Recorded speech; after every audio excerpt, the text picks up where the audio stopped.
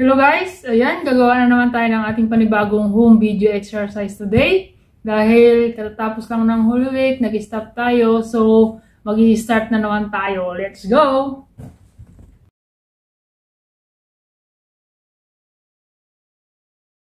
Bali, yung unang exercise natin guys is uh, 15 count. Bali, apat na pieces natin siyang gagawin. So, let's go.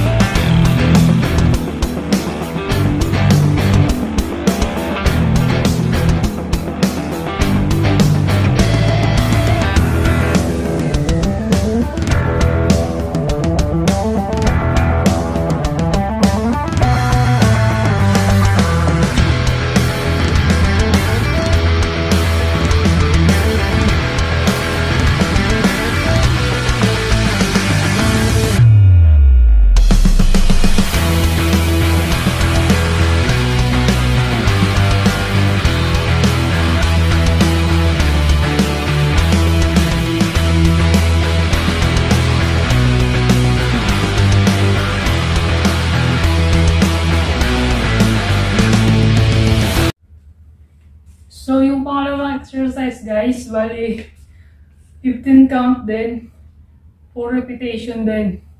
So, start ulit.